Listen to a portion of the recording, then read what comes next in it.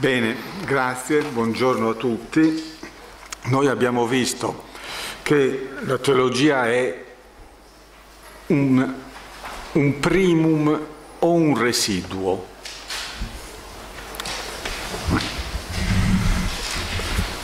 O è una prima forma di apprensione della sostanza, Hegel, o è la prima forma trascendentale della politica, Hobbes, o è l'ultima forma, astratta ma efficace e quindi concreta, della politica, Marx. L'ultima forma, lo Stato democratico, è la forma compiuta del cristianesimo. Lo Stato democratico ateo è la forma compiuta.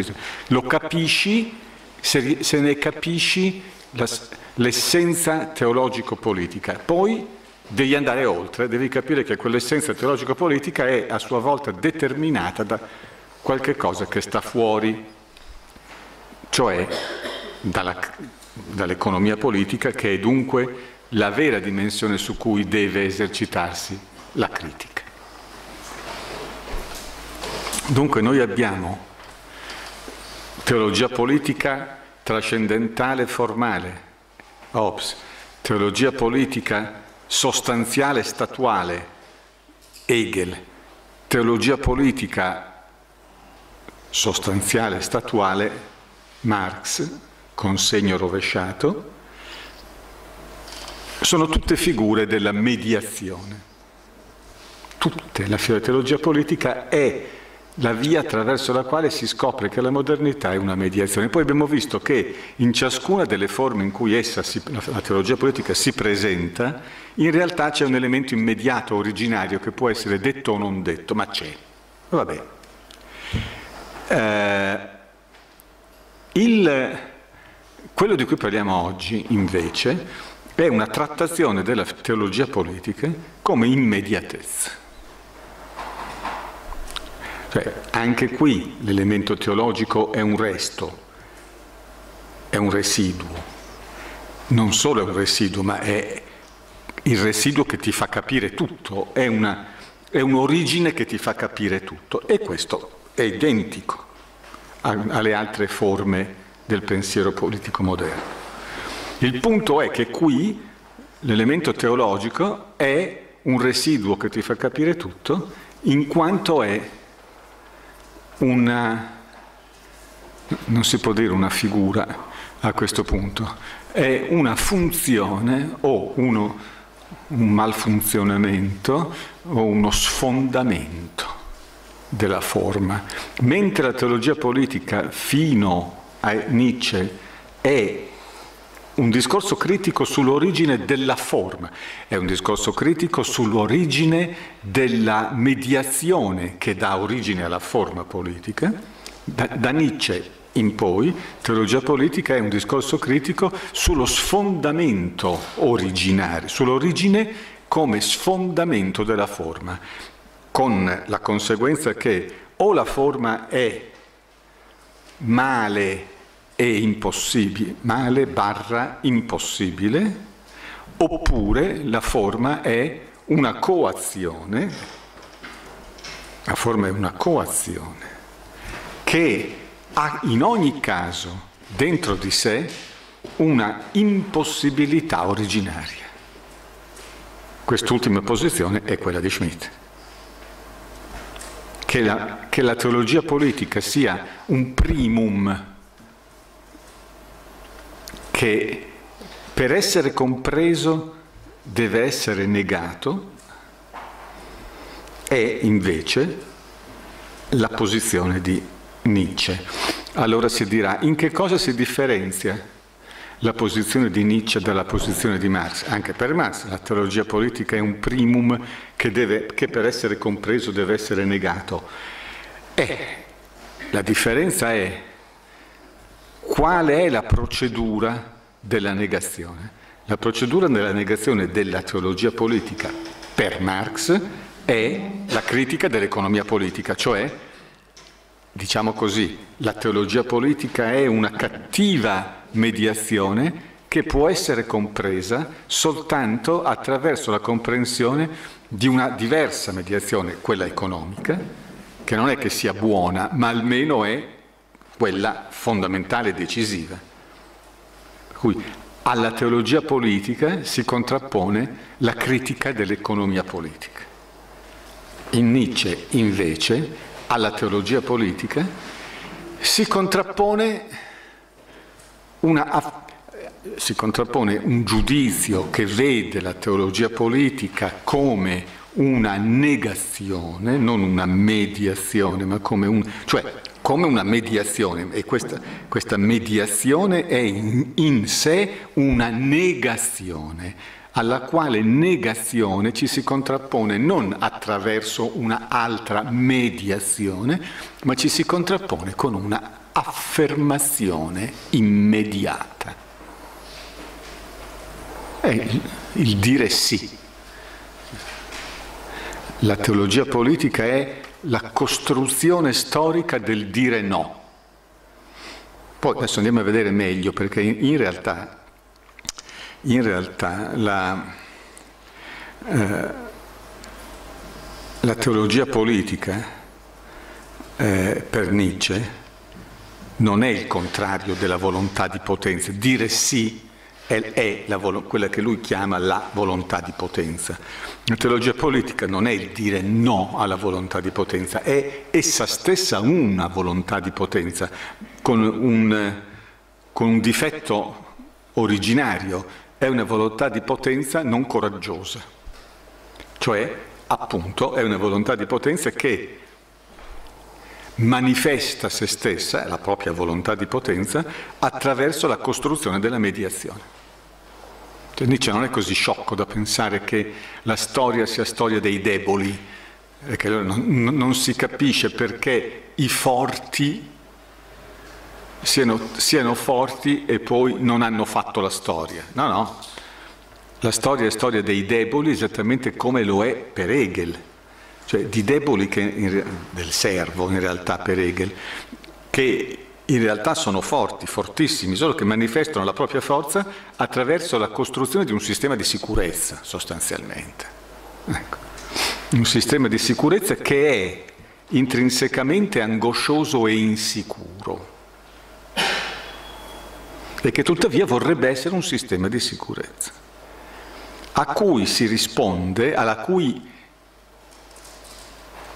intrinseca colpevolezza si risponde con una affermazione di discolpa, anzi di rinuncia alla dimensione di abiura, della dimensione stessa della colpa. Ah, questo discorso Nietzsche lo ha fatto cominciandolo con la genealogia della morale. Ma in realtà dire morale, dire teologia politica è dal punto di vista sistemico per lui la stessa cosa. Come ricorderete nella genealogia della morale, cioè la, la nascita della morale è l'idea, è una nascita che passa, ha bisogno dell'idea di colpa.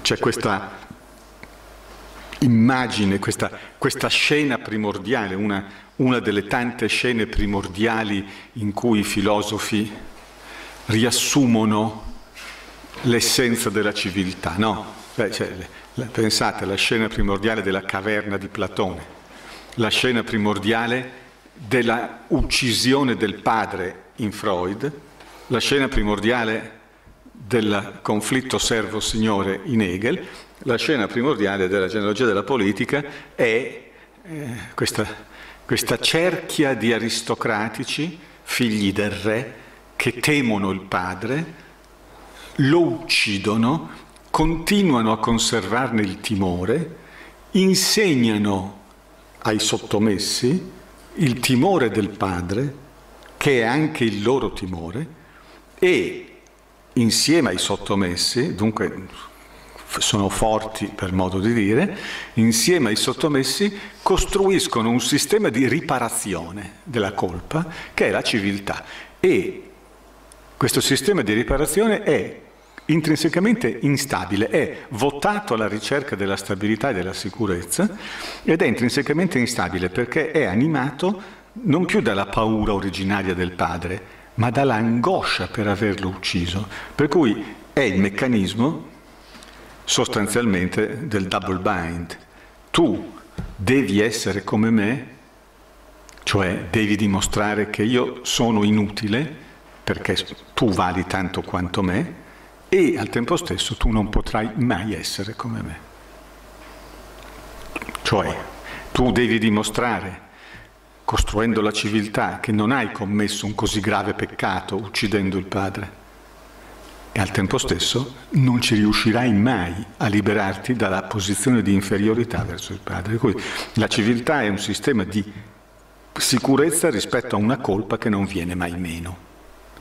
Questa è l'origine della morale, cioè la dimensione attraverso la quale si è giudicati, anzi ci si autogiudica continuamente come inferiori rispetto all'obiettivo che si dovrebbe raggiungere.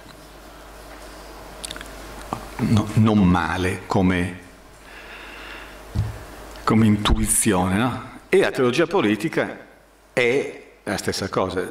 Cioè, diciamo così, Nietzsche dice una cosa sola, come tutti i grandi filosofi, per tutta la durata della sua manifestazione di sanità mentale e di potenza intellettuale, dice una cosa sola, questa e la dice nella sua prima opera importante, Genealogia della morale, la dice nell'Anticristo, che è l'ultima, eh, fra le ultimissime, e Anticristo qui non ha nulla della risonanza mitica evocativa del, che solitamente il termine ha. Eh, qui anticristo vuol dire due cose sostanzialmente. Eh, due cose. Primo, la, il cristianesimo come si è evoluto storicamente è eh, in realtà la negazione di Cristo e secondo io Nietzsche sono contro il cristianesimo storico. Cioè, la figura di Cristo è accettata, è accettata come figura debole, come figura del morente, è respinta come figura che diventa l'architrave della mediazione fra cielo e terra, cioè diventa l'architrave che sorregge questo gigantesco raddoppiamento del mondo che è la storia dell'Occidente.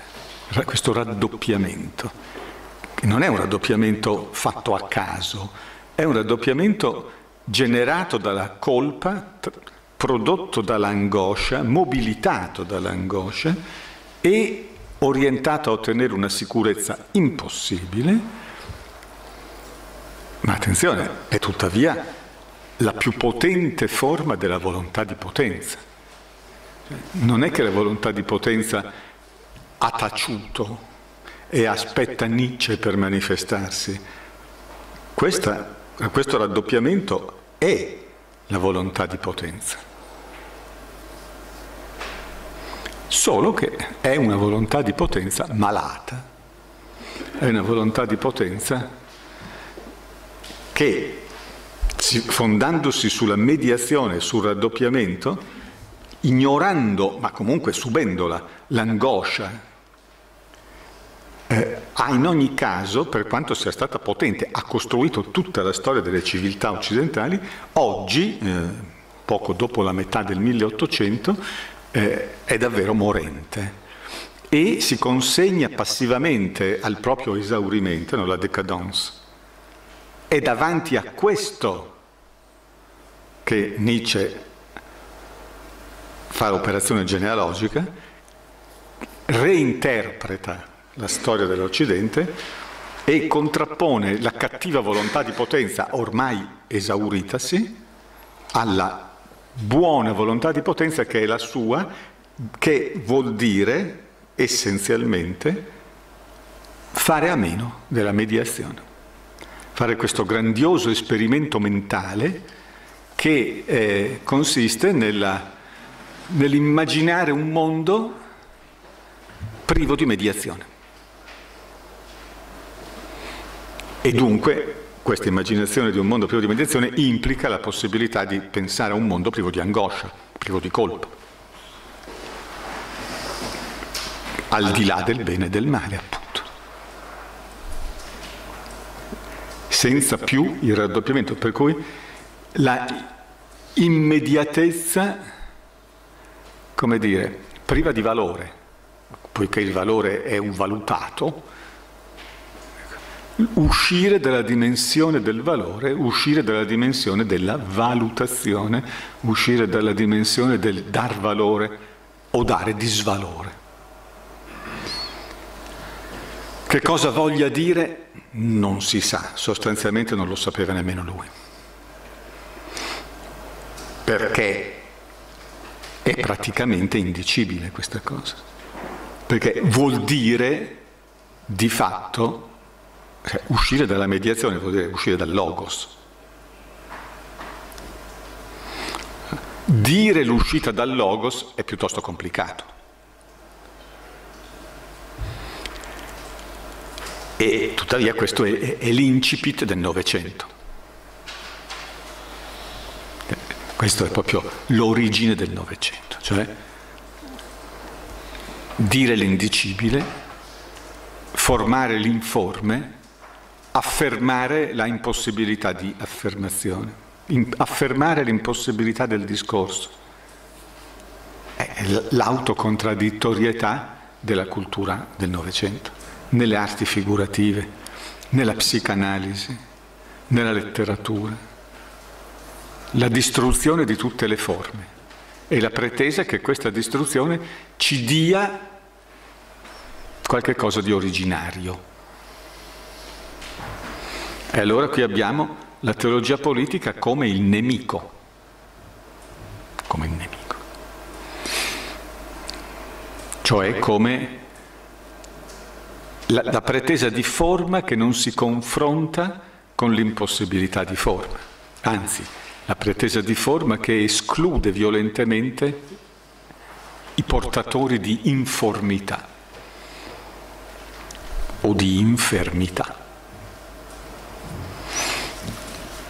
La, la infinita ricchezza della pagina nicciana si dimostra ovunque nella filosofia del XX secolo, è all'origine della, del, distacco, del distacco fra le parole e le cose.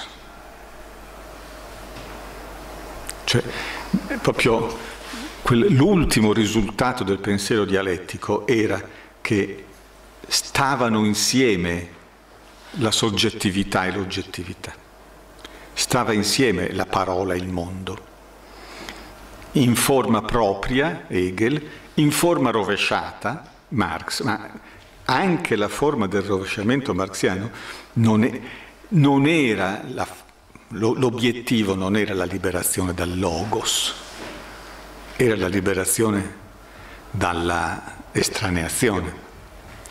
Al limite, ma come limite concettuale ultimo, la liberazione dalla politica, intesa come apparato di dominio, la trasformazione della politica in apparato amministrativo, come se fossero due cose diverse, ma insomma, ma non era la liberazione dal logos. Marx, Marx è l'ultima figura del razionalismo moderno, non è un irrazionalista. Ecco, qui c'è l'inizio di quello che è stato definito a lungo l'irrazionalismo. Oggi lo possiamo definire la critica radicale della ragione, cioè la genealogia della ragione,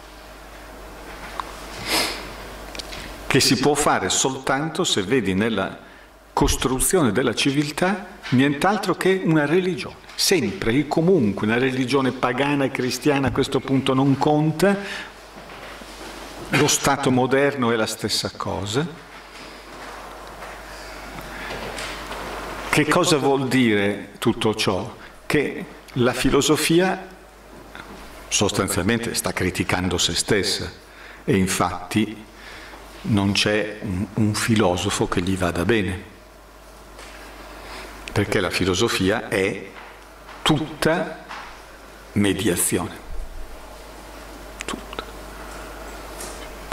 Magari qualcosina con Eraclito, va, ma insomma dal povero Eraclito si può tirare fuori qualunque cosa perché sono dei frammenti.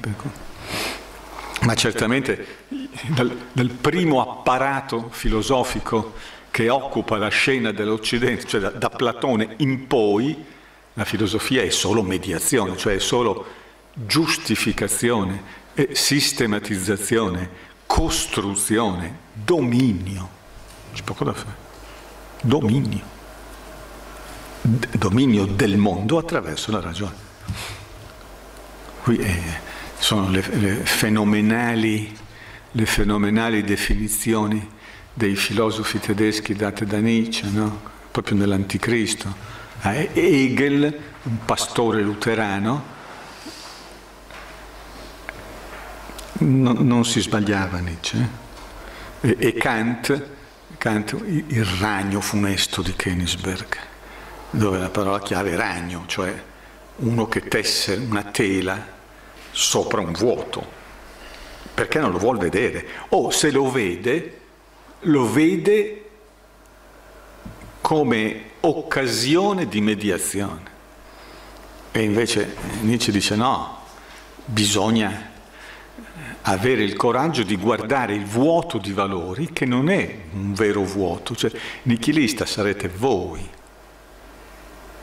Io guardo il vuoto di valori e dentro quel vuoto ci vedo il pieno, ecco, di che cosa?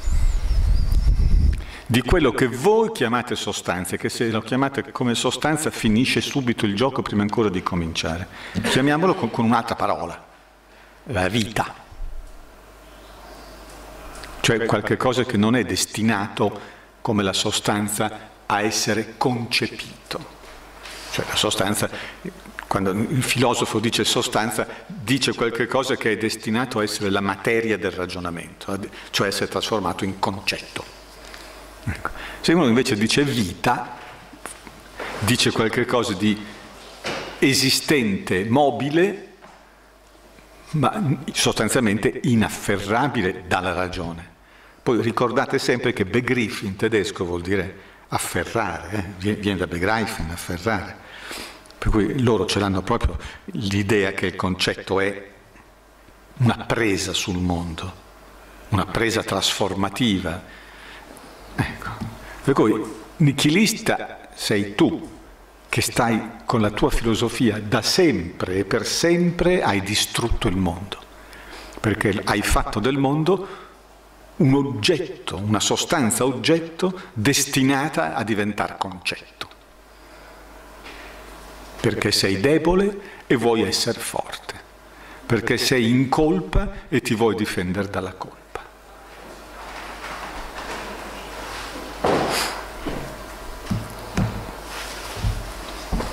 Io, che filosofo con il martello e distruggo l'idea stessa della filosofia, io sono tutt'altro che nichilista.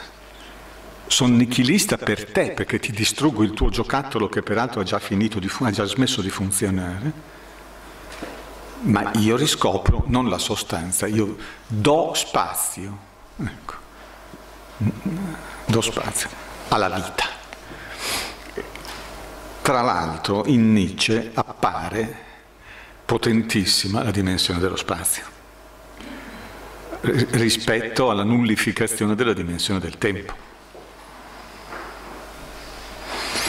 Il tempo non c'è. Il tempo che era il vettore della giustificazione, l'avete visto ieri. Hegel, al quale non sfugge niente, gli sfugge, si fa per dire, l'idea che oggi è meglio di ieri. Ecco. A ciò Nietzsche risponde con quella teoria stravagante dell'eterno ritorno dell'identico, e non si sa che cosa voglia dire, vuol dire semplicemente che non bisogna riuscire a pensare senza pensare il tempo, senza affidarsi alla, all'idea che il tempo sia la medicina che cura la ferita originaria, perché la vera filosofia, la sua, è la filosofia che dice che non c'è alcuna ferita originaria da curare. Eh. Immaginarsi la ferita originaria è una manifestazione di una debole volontà di potenza.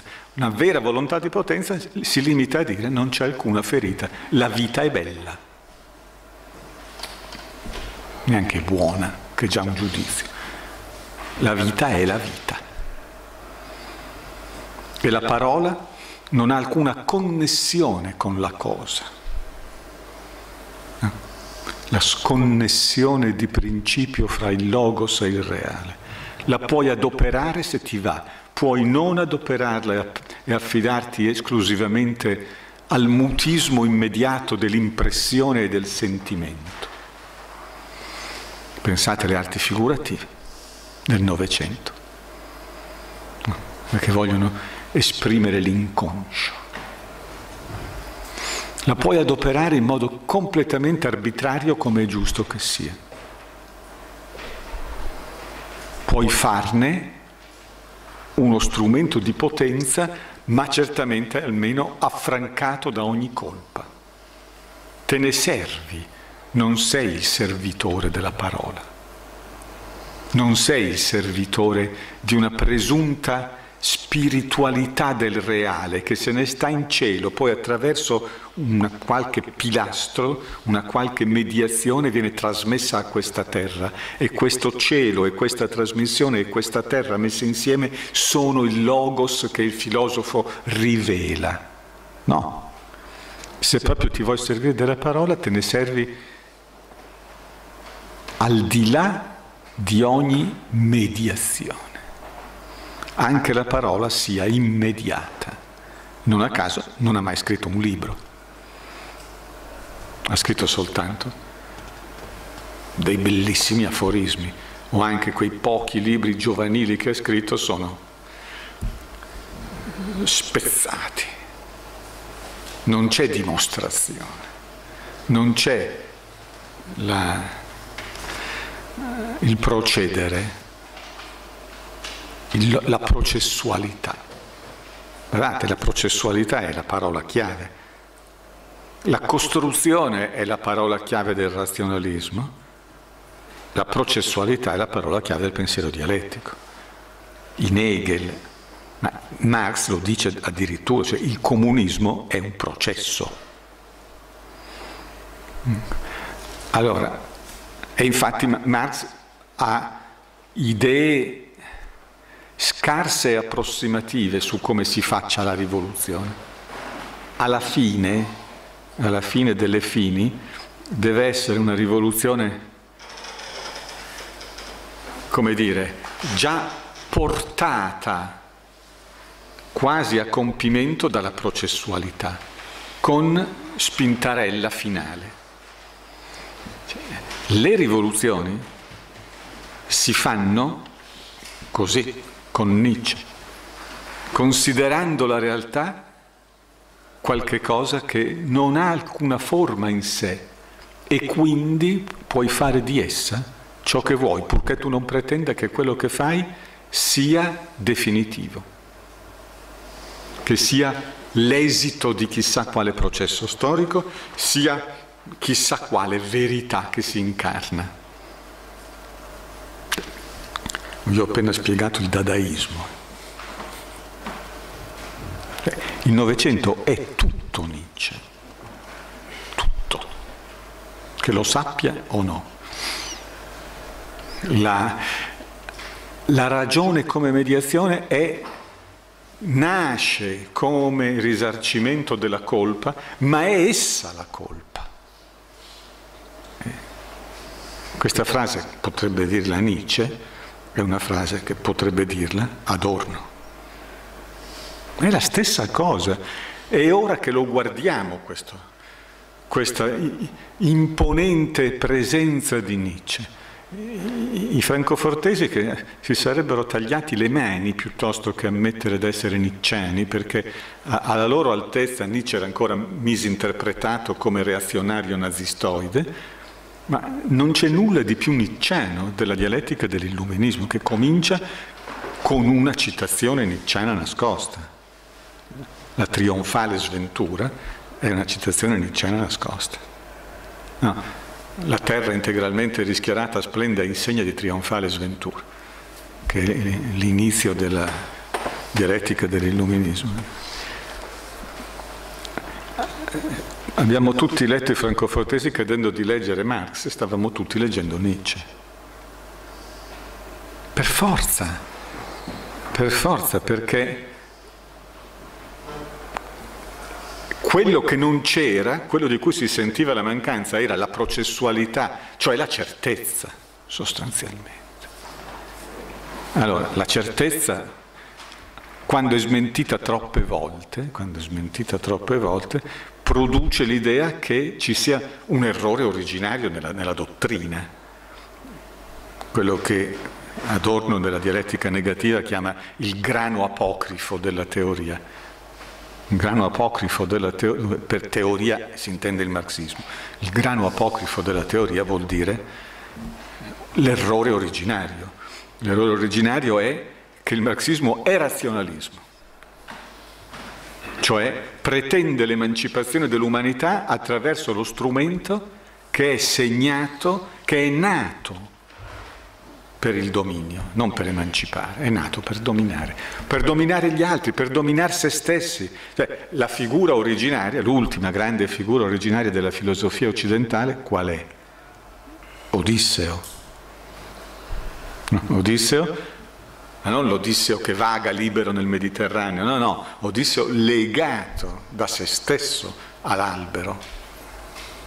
Quello è la grande figura, cioè il logos è un legame che ci siamo imposti per, per, essere potenti, per essere in questo caso capaci di qualche cosa di cui nessun altro è capace, cioè di udire il canto delle sirene. Questa potenza, il logos è potenza, dà, dà potenza a Odisseo, gli consente di udire qualche cosa di meraviglioso, a che patto? Beh, il patto è che questa cosa meravigliosa non venga mai fatta, cioè Ulisse si fa legare, non, non vuole fuggire dalla nave e obbedire alle sirene, e a patto che sotto coperta gli operai con la cera nelle orecchie remino.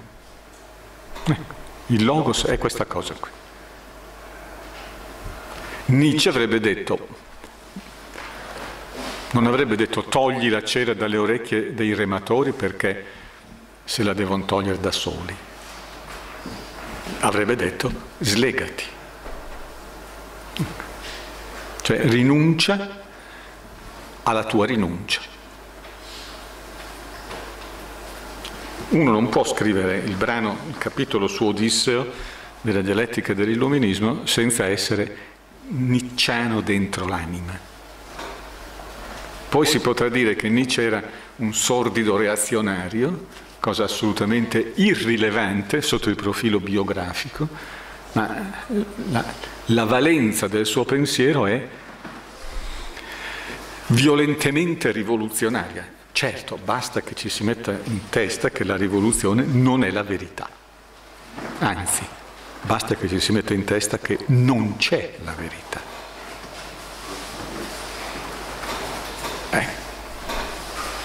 Perché la vita non è né vera né falsa, semplicemente c'è. Non è razionale, non è morale, c'è. Una provocazione grandiosissima nei confronti della filosofia, che naturalmente sulla base del principio che vi dicevo ieri del filosofo che mangia il filosofo, trovò in Heidegger colui che l'accetta e la supera. No? Quando Heidegger in, un corpo a corpo durissimo con Nietzsche dalla seconda metà degli anni 30 fino alla seconda metà degli anni 40 e oltre, eh, vuol capire la sfida nicciana dice, e alla fine la capisce e dice Nietzsche è come tutti gli altri ed è peggio degli altri. Perché è come tutti gli altri? Perché capisce che la verità della filosofia occidentale è la volontà di potenza, che in lui, Nietzsche, si manifesta nella sua forma pura, priva di tutto l'armamentario metafisico precedente. Per cui evviva Nietzsche. Ma quello che lui non capisce, e che modestamente capisco solo io, è che la volontà di potenza è essa stessa metafisica. Ecco. Non ha bisogno della metafisica, si è servita della metafisica tradizionale, si è servita del raddoppiamento del mondo, si è servita della morale, si è servita del cristianesimo, si è servita del razionalismo, si è servita de, della teologia politica, insomma, ma non è che se tu distruggi tutto ciò con il martello e ottieni come risultato che quella era volontà di potenza, come dire, nascosta, implicita, e tu invece affermi una volontà di potenza esplicita, aperta, hai cambiato qualche cosa, hai portato a perfetta riconoscibilità l'essenza metafisica dell'Occidente. Cioè che tutto quello che l'Occidente ha fatto sempre, a parte il Santissimo Eraclito, di cui per fortuna non sappiamo niente, ma da quando sappiamo qualche cosa, cioè da Platone in avanti, ha, ha sempre fatto una cosa soltanto, cioè metafisica, perché, cioè ha sempre fatto volontà di potenza, che si è che è la stessa cosa che la metafisica, la quale, volontà di potenza, sopravvive alla fine della metafisica, o meglio, la fine della metafisica è la fine dei freni alla volontà di potenza. Dopotutto, la morale ti diceva bene e male. Se tu distruggi la morale e dici fai un po' quel che ti pare, non stai mettendo fine alla volontà di potenza, la stai esaltando. E se la esalti non sei fuori dalla metafisica, sei dentro l'assunto originario della metafisica, cioè che l'essere è qualche cosa che deve essere disvelato. Cioè, L'Occidente è il processo per il quale il soggetto si pone come di fronte a un oggetto, chiama l'oggetto essere e conduce continuamente una lotta contro di esso per disvelarlo, cioè per togliere le apparenze e arrivare finalmente alla sostanza, prenderla e farne un concetto. Questa operazione la, la, fai con la metafisica tradizionale, la fai col cristianesimo, la fai con la modernità, la fai con la, con la filosofia in generale la fai con la distruzione nicciana della filosofia. Infatti Nietzsche, essendo un genio, distrugge la filosofia, rompe l'uovo e dentro ci, tro- ci trovi il tuorlo, che è finalmente volontà di potenza dispiegata. Ma questa non è la fine, questa è la fine dell'inizio. Io Heidegger vado oltre, molto oltre, vedo quello che nessuno ha mai visto vedo che tutto ciò si fonda su un unico principio errante che è, è che l'essere è verità e verità è il venir meno del nascondimento, aletheia. Quando smetteremo di porci di fronte all'essere con la volontà di disvelarlo, verremo fuori dagli infiniti guai che abbiamo creato noi. Ma, ulteriore complicazione, non si tratta di una decisione soggettiva, smettiamo di pensare all'essere come alla verità che deve essere disvelata. perché il fatto che l'essere nella storia dell'Occidente si presenti come ciò che è nascosto e che deve essere disvelato è un modo d'essere dell'essere. Cioè, non l'abbiamo deciso noi, l'ha deciso l'essere. Per cui dobbiamo lasciare che si consumi questa vicenda dell'essere, che è una vicenda del nascondimento. E quindi e quindi stiamo zitti sostanzialmente. Infatti l'ultimo Nietzsche si inventa figure che non hanno più nulla di logico, cioè il tentativo di parlare oltre la metafisica, oltre il logos, oltre l'ultima forma del logos che sono i numeri, la tecnoscienza parlare oltre la verità. Naturalmente a questo punto fioriscono immagini, no? fondamentale la Gelassenheit, cioè eh, l'idea dell'abbandonarsi e la Lichtung, che è proprio costruita contro l'Aufklärung, è il contrario L'Aufklärung è gettare un fascio di luce investigante, cioè è tutta metafisica, cioè tutta volontà di potenza. La Lichtung, la radura, è l'accogliere l'apertura dell'essere. Naturalmente, naturalmente a questo punto diventa, diventa difficile seguire la filosofia nel momento della propria negazione. Questo è, questo è Heidegger. Cioè, sostanzialmente a partire dai Beiträge Philosophie, cioè 37-38, eh, Heidegger è proprio il negatore della filosofia. Fa filosofia con l'intenzione di dimostrare che la filosofia è qualcosa che va negato, che però non è sufficiente negarlo soggettivamente, va negato perché si deve accetta- aspettare e accettare il suo sprofondare nelle, nelle contraddizioni che ha generato.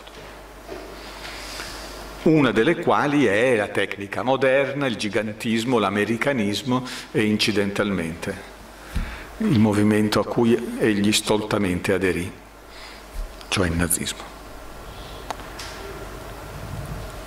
Ah, questo dico come, me- come tentativo di andare oltre Nietzsche, cioè di consumare l'ultima vendetta sull'ultimo filosofo che si stava vendicando di tutti gli altri filosofi. L'anticristo è l'idea che è meglio il Cristo che muore che non il Cristo che si istituzionalizza come mediazione. È meglio la debolezza che la finta debolezza. È meglio la debolezza vera della debolezza finta che diventa la forza della mediazione. E che se si vuole capire qualche cosa di questo mondo bisogna capire che alla fine delle fini non c'è niente da capire. Questo e questo tra l'altro è il punto fondamentale della, dell'estetica contemporanea. Non c'è, non c'è, forma, non c'è racconto, non c'è narrazione, non c'è niente da dire, non c'è niente da capire. C'è solo da volere che cosa? Se stessi. Voi capite, tra l'altro, come tutto ciò sia assolutamente irresponsabile, perché nega, nega, il dovere di rispondere a qualcuno, ecco, e come sia da una parte sfidante e dall'altra parte invece come sia pacificante, perché insegna a ciascuno che quello che conta è essere se stessi. E basta. Come diventa facilmente ideologia. Qui c'è il discorso che non c'è nulla di strutturale. Marx diceva, ti puoi, puoi non credere a nulla, anzi devi non credere a nulla. La filosofia del, si dice sono i filosofi del sospetto. Non devi credere a nulla, però devi credere all'economia politica e alle sue contraddizioni. Qui c'è scritto non devi credere a nulla. Che certo è liberatorio, sì, però è, appunto è l'idea che non c'è un'impresa collettiva che meriti il nome della verità. Non c'è la verità artificiale del Leviatano, la verità storica di Hegel, la verità rivoluzionaria di Marx. L'impresa collettiva, se vuoi la puoi fare, la puoi chiamare Erdpolitik, la la politica mondiale, Weltpolitik, la politica mondiale, è pura volontà di potenza. La puoi fare, puoi non farla. Non c'è una necessità. O se vogliamo, la necessità, il destino, è nient'altro che il contrario della storia, il contrario dello sviluppo, il contrario del progresso. Il destino è l'essere gettati nel mondo. Questo è il significato della critica di Nietzsche alla teologia politica. Critica che si manifesta sostanzialmente in tutta la sua opera e che nell'Anticristo diventa, non dico certa di sé perché lo era già, eh, prende il nome giusto, ecco, prende il nome di critica della teologia politica. Sulla base di una serie di ragionamenti il principale dei quali è... Allora, come sapete, Nietzsche non era antisemita, anzi pensava che l'antisemitismo fosse una patologia psicosociale da, da birreria e, e, non sapeva quanto era profetico in questo. Eh, però c'è il tema degli ebrei, perché gli ebrei sono stati portati dentro la civiltà occidentale attraverso il, il cristianesimo e anche qui la tesi di fondo è sì, la religione prima e più potente è la religione ebraica, ma attenzione, eh, il cristianesimo è la stessa cosa, che era il discorso che faceva Marx. Ebrei e cristiani sono la stessa cosa. Cioè, quando arrivi al livello teologico-politico capisci che quello che conta è il fatto che tanto nella filosofia implicita nel discorso biblico ebraico, quanto in quella implicita ma esplicita nel, nel discorso cristiano che fu ripreso e accomodato dentro il grande dualismo greco, ecco, quello che conta è il raddoppiamento è lo spezzettamento dell'umanità in atomi da una parte e l'istituzione di un'autorità di mediazione rispetto cielo al cielo dell'uguaglianza. A questo punto la differenza fra ebrei e cristiani è solo una differenza di potenza. L'ebraismo si rivolge a un popolo, il cristianesimo si rivolge all'intera umanità, vuole coinvolgere in quel meccanismo l'intera umanità. Questa è una discreta differenza rispetto a Hegel, per il quale invece, poi, poi ha smesso, ma nel testo giovanile sull'essenza del cristianesimo e il suo destino, c'è un capitolo sull'essenza dell'ebraismo in cui, eh, questo è un testo direi del 99 addirittura, o, sì, del 99 o dell'Ottocento, eh, no, forse, forse, prima, forse del 97, ehm, un testo in cui si dice che l'ebraismo è antimoderno, sostanzialmente, perché l'ebraismo è eh, il rifiuto della mediazione, mentre invece la modernità è la mediazione. Poi a quell'altezza Hegel non era nemmeno come dire, un filo moderno, perché della mediazione vedeva la contraddizione e la soluzione secondo lui stava nell'antico, ma certamente l'ebraismo era una forma di mancata conciliazione col mondo. Mentre invece il cristianesimo era una conciliazione, però era una conciliazione contraddittoria, mentre invece la bella eticità aveva abitato la Grecia. La, la questione dell'antisemitismo dentro la filosofia c'è perché, sono, perché è, è, troppo, è, è inutile negarlo.